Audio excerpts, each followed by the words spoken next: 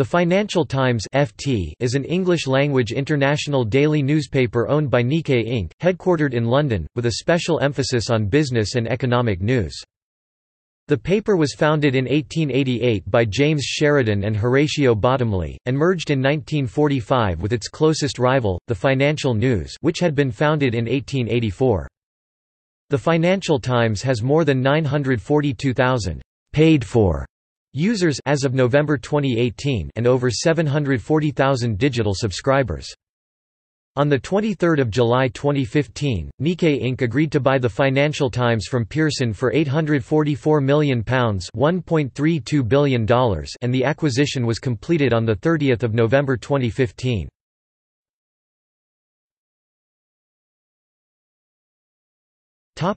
History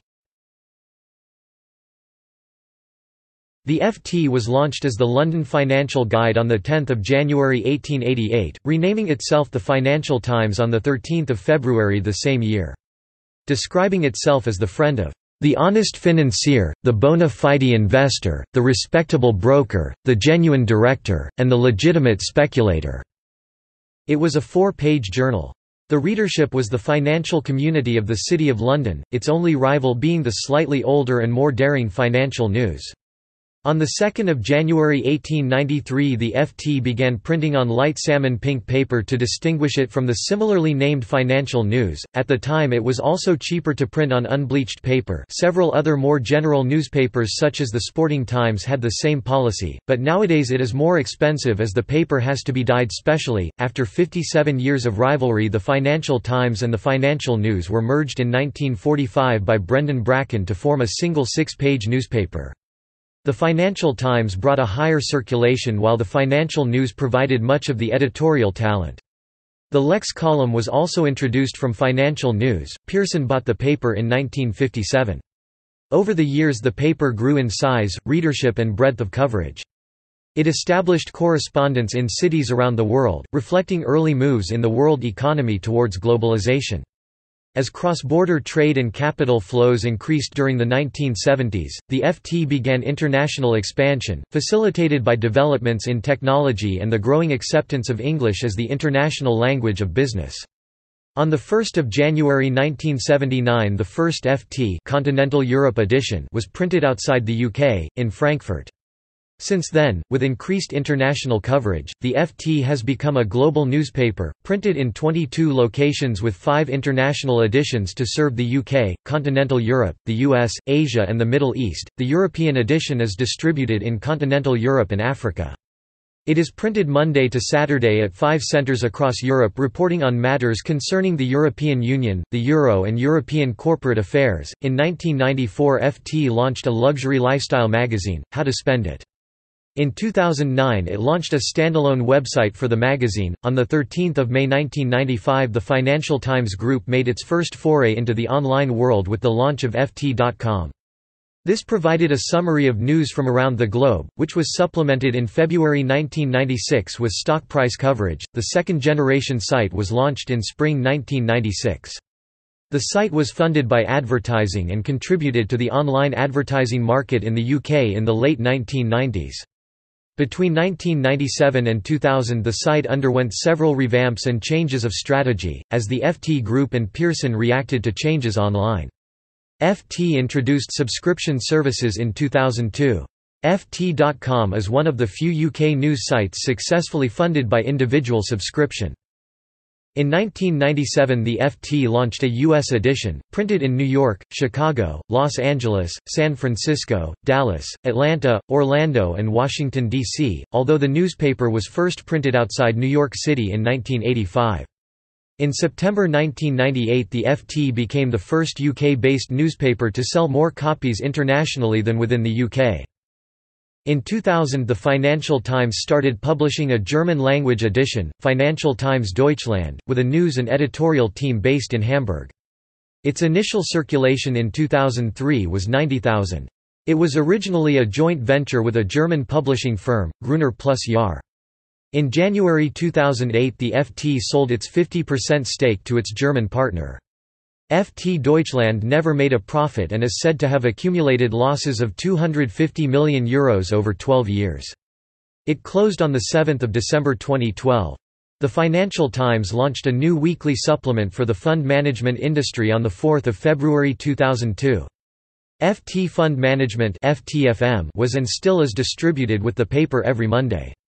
FTFM is the world's largest circulation fund management title. Since 2005, the FT has sponsored the annual Financial Times and Goldman Sachs Business Book of the Year award. On the 23rd of April 2007, the FT unveiled a refreshed version of the newspaper and introduced a new slogan, "We live in Financial Times." In 2007 the FT pioneered a metered paywall, which lets visitors to its site read a limited number of free articles during any one month before asking them to pay. Four years later the FT launched its HTML5 mobile Internet app. Smartphones and tablets now drive 12% of subscriptions and 19% of traffic to FT.com. In 2012 the number of digital subscribers surpassed the circulation of the newspaper for the first time and the FT drew almost half of its revenue from subscriptions rather than advertising. Since 2010 the FT has been available on Bloomberg Terminal. Since 2013 the FT has been available on Wiser's platform. In 2016, the Financial Times acquired a controlling stake in Alpha Grid, a London-based media company specializing in the development and production of quality branded content across a range of channels including broadcast, video, digital, social and events. In 2018, the Financial Times acquired a controlling stake in Longitude, a specialist provider of thought leadership and research services to a multinational corporate and institutional client base. This investment builds on the Financial Times' recent growth in several business areas, including branded content via the acquisition of Alpha Grid, and conferences and events through Financial Times Live and extends the FT's traditional commercial offering into a wider set of integrated services.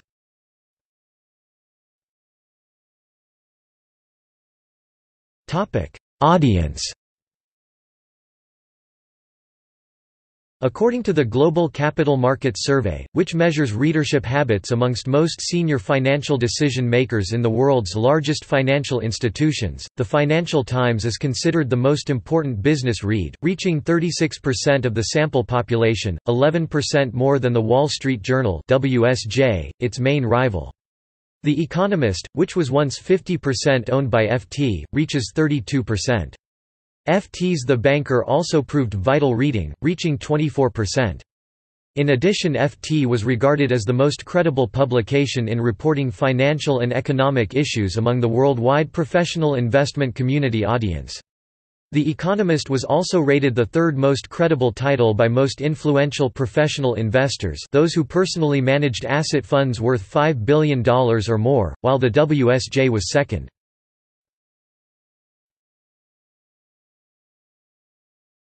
Topic: Content.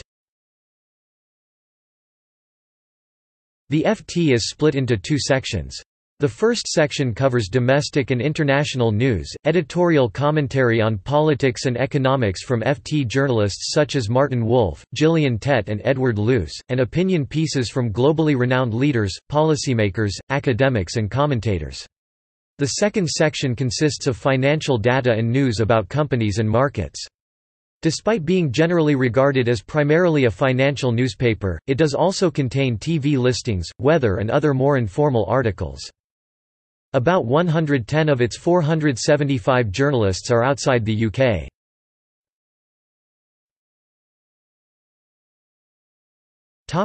The Lex column The Lex column is a daily feature on the back page of the first section. It features analyses and opinions covering global economics and finance. The FT calls Lex its agenda-setting column. The column first appeared on Monday 1 October 1945. The name may originally have stood for lex mercatoria, a Latin expression meaning literally, merchant law. It was conceived by Hargreaves Parkinson for the Financial News in the 1930s and moved to the Financial Times when the two merged. Lex boasts some distinguished alumni who have gone on to make careers in business and government, including Nigel Lawson former Conservative Chancellor of the Exchequer, Richard Lambert CBI Director and former member of the Bank of England's Monetary Policy Committee, Martin Taylor former Chief Executive of Barclays, John Makinson Chairman and Chief Executive of Penguin, John Gardiner former Chairman of Tesco, David Freud former UBS banker and Labour advisor, now a Conservative peer, John Kingman former head of UK KFI and a banker at Rothschilds, George Graham RBS banker, Andrew Balls head of European Portfolio Management at PIMCO and Jo Johnson Conservative Member of Parliament for Orpington. Topic FT Weekend The FT publishes a Saturday edition of the newspaper called the Financial Times Weekend. It consists of international economic and political news, companies and markets, life and arts, house and home and FT magazine.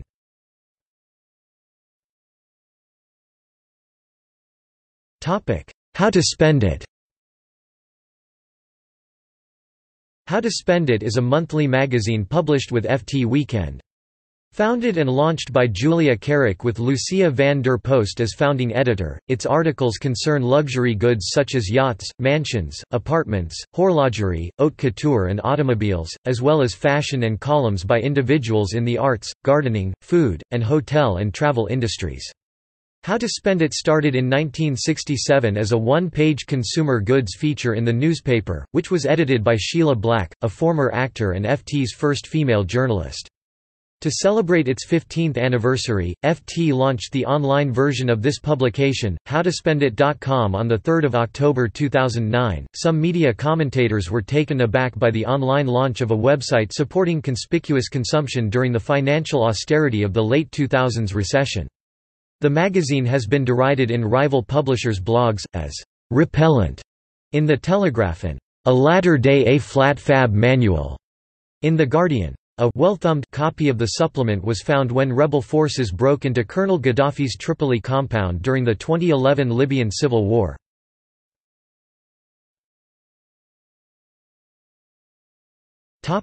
Editorial stance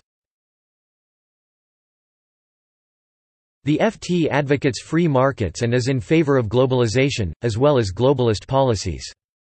During the 1980s it supported Margaret Thatcher and Ronald Reagan's monetarist policies.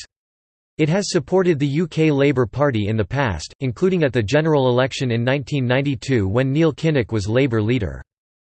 The FT's editorials tend to be pro-Europe, supporting the European Union in the context of a common economic market and opposing political integration.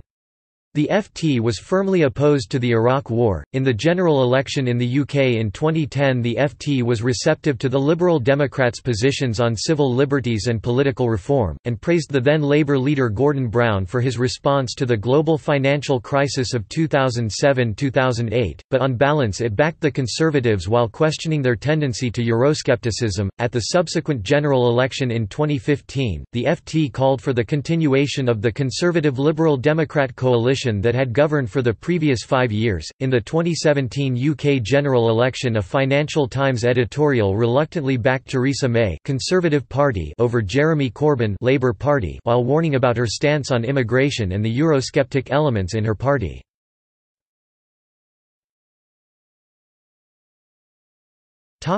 U.S. politics In the U.S. presidential election in 2008 the Financial Times endorsed Barack Obama. While it raised concerns over hints of protectionism, it praised his ability to engage the country's attention, his calls for a bipartisan politics, and his plans for comprehensive health care reform. The FT favored Obama again in 2012. Topic ownership and related publications The Financial Times Group, a division of Pearson plc since 1957, was sold in July 2015 to the Japanese company Nikkei for £844 million. Until August 2015 the FT Group had a 50% shareholding in The Economist, which was sold to the Agnelli family for £469 million. Related publications include The Financial Times, FT.com, FT Search Inc., the publishing imprint FT Press and numerous joint ventures. In November 2013 it agreed to sell Mergermarket, an online intelligence reporting business, to the London private equity investor BC Partners. In addition, the FT Group has a unit called FT Business, which is a provider of specialist information on retail, personal and institutional finance segments. It publishes The Banker, Money Management and Financial Advisor a publication targeted at professional advisors, This is Africa, FDI Intelligence and Professional Wealth Management PWM. .The Financial Times Group announced the beta launch of NewsSift, part of FT Search, in March 2009. Newsift.com is a next-generation search tool for business professionals that indexes millions of articles from thousands of global business news sources, not just the FT. The Financial Times Group acquired Money Media an online news and commentary site for the industry and Exec Appointments an online recruitment specialist site for the executive jobs market. The FT Group once had a 13.85% stake in Business Standard Limited of India, the publisher of the Business Standard. It sold this stake in April 2008 and has entered into an agreement with Network 18 to launch the Financial Times in India, though it is speculated that they may find it difficult to do so, as the brand Financial Times in India is owned by the Times Group, the publisher of the Times of India and the Economic Times. The group also publishes America's Intelligence Wire, a daily general newswire service. The Financial Times Financial Publishing Division, formerly FT Business, provides print and online content for retail, personal and institutional finance audiences. Examples of publications and services include, Investors Chronicle, a personal finance magazine and website, FT Money, a weekly personal finance supplement in FT Weekend, FT Wealth, a magazine for the global high net worth community and FTFM, a weekly review of the global fund management industry, Money Management and Financial Advisor a publication targeted at professional advisors. The institutional segment includes, The Banker, This is Africa, FDI Intelligence and Professional Wealth Management PWM. Money Media, a separate arm of financial publishing, delivers a range of digital information services for fund management professionals around the globe, including, Ignites, Ignites Europe, Ignites Asia, Fundfire and BoardIQ. Financial publishing includes publications Pensions Expert and Deutsche Pensions and Investment Nachrichten and events Investment Expert for the European pensions industry. The group also publishes Mandatewire, a financial information company that provides sales and market intelligence for investment professionals in North America, Europe and Asia. FT Knowledge is an associated company which offers educational products and services. FT Knowledge has offered the Introducing the City course which is a series of Wednesday night lectures and seminars, as well as weekend events during each autumn and spring since 2000. FT Predict is a prediction market contest hosted by the Financial Times that allows users to buy and sell contracts based on future financial, political, and news-driven events by spending fictional Financial Times dollars FT dollar.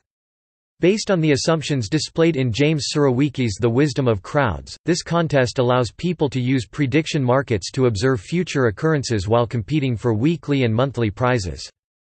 The Financial Times also ran a business-related game called, In the Pink, a phrase meaning, in good health, also a reference to the color of the newspaper and to the phrase, in the red, meaning to be making a loss.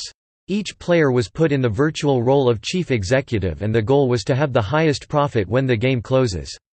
The winner of the game the player who makes the highest profit was to receive a real monetary prize of £10,000. The game ran from 1 May to 28 June 2006.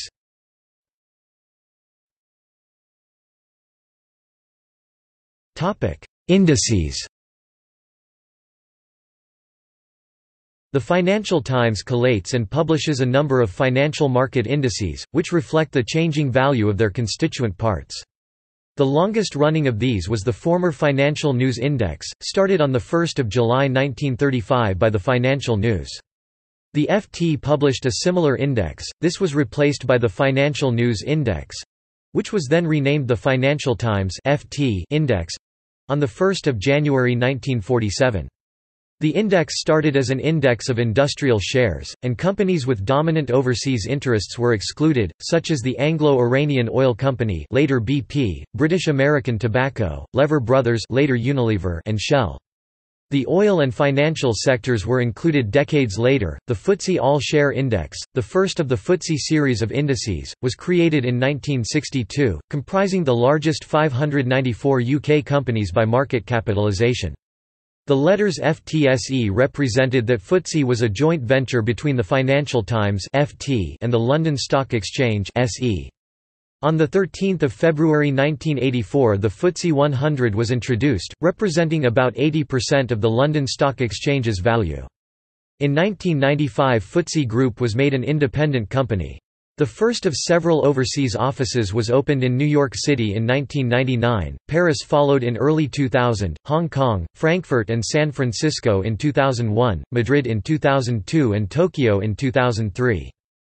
Other well-known FTSE indices include the FTSE 350 Index, the FTSE Smallcap Index, the FTSE AIM UK 50 Index and FTSE AIM 100 Index as well as the FTSE AIM All-Share Index for stocks, and the FTSE UK Gilt Indices for government bonds.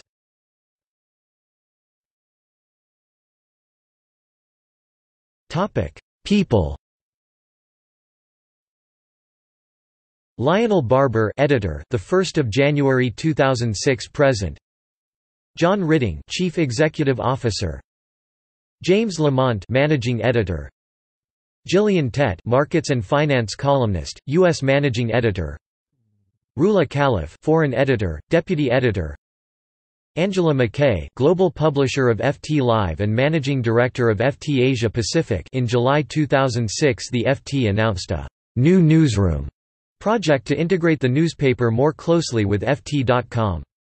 At the same time it announced plans to cut the editorial staff from 525 to 475. In August 2006 it announced that all the required job cuts had been achieved through voluntary layoffs.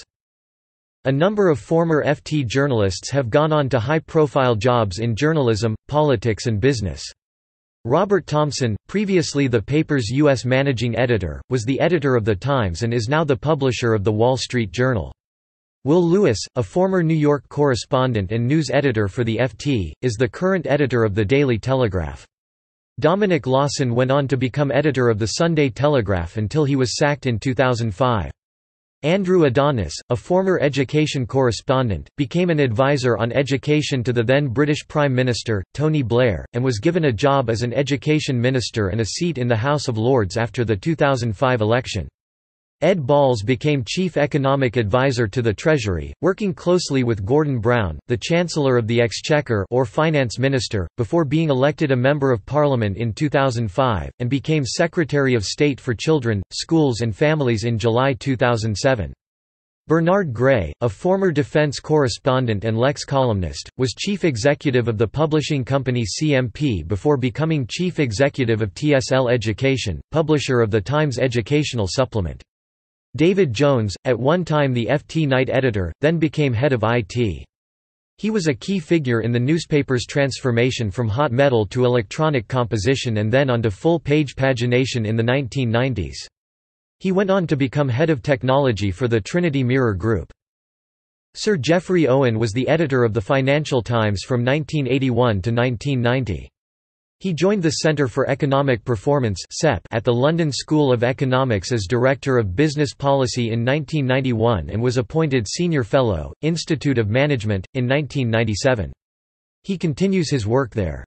During his tenure at the FT he had to deal with rapid technological change and issues related to it, for example repetitive strain injury RSI, which affected dozens of FT journalists, reporters and staff in the late 1980s.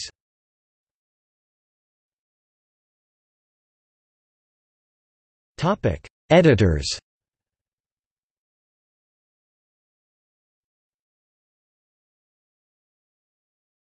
Topic: See also.